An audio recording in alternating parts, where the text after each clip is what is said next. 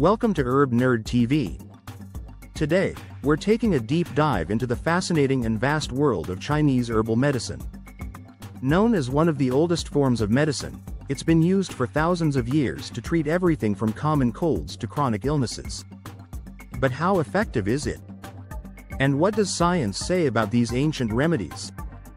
Let's explore the many different kinds of Chinese herbal medicines, how they work, and what evidence supports their use.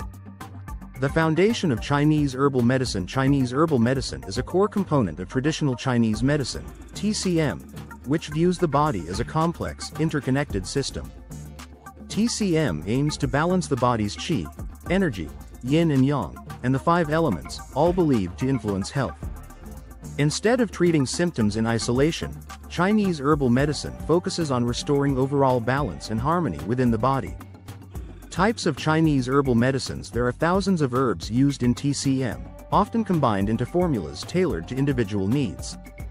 Let's look at some of the most commonly used categories. Adaptogens.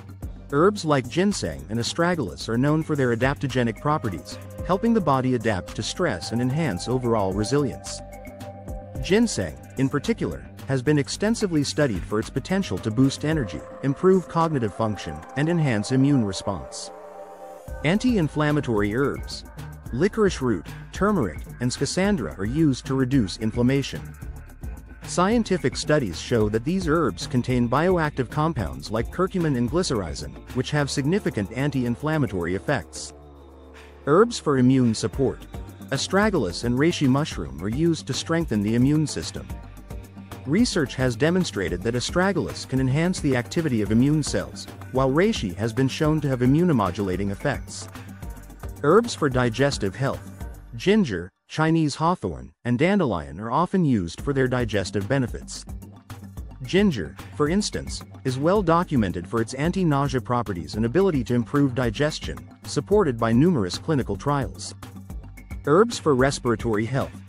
Chinese skullcap and loquat leaf are used to treat respiratory issues like asthma and bronchitis. These herbs have been shown to contain compounds that reduce inflammation in the airways and act as natural bronchodilators. Blood tonics. Angelica sinensis, Dong Qi, and peony are popular blood tonics in TCM, especially for women's health.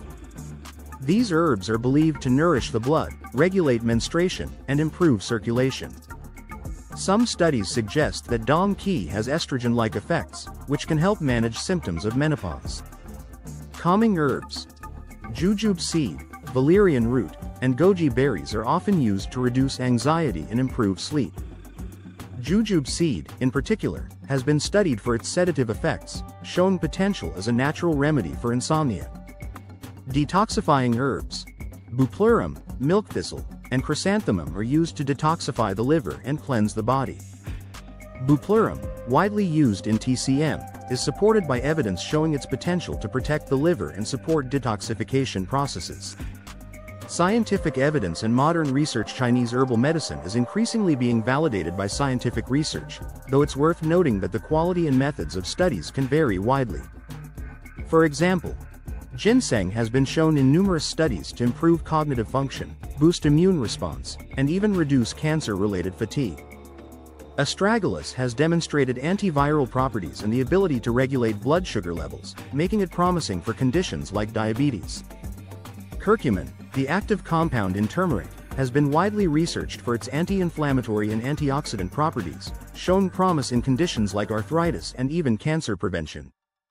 However, not all research is conclusive, and many studies are still in early phases. It's crucial for ongoing studies to use rigorous, well-controlled methods to provide more definitive answers on the effectiveness and safety of these herbal medicines. Safety and side effects While many Chinese herbs are generally safe, they are not without risks. Certain herbs, like ephedra, have been linked to severe side effects, such as heart palpitations and high blood pressure, leading to restrictions in many countries. Others, like licorice root, can cause electrolyte imbalances if used excessively. Additionally, herb-drug interactions are a significant concern. For instance, ginkgo biloba can increase bleeding risk when combined with blood thinners, and St. John's wort can interfere with the effectiveness of various medications.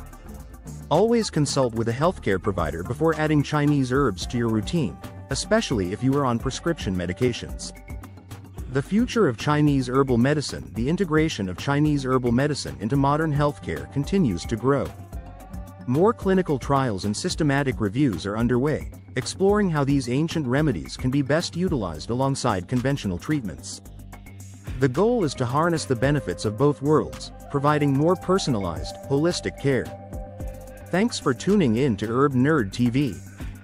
If you found this video helpful, please give it a thumbs up, share your thoughts in the comments, and subscribe for more evidence-based insights into the world of herbal medicine.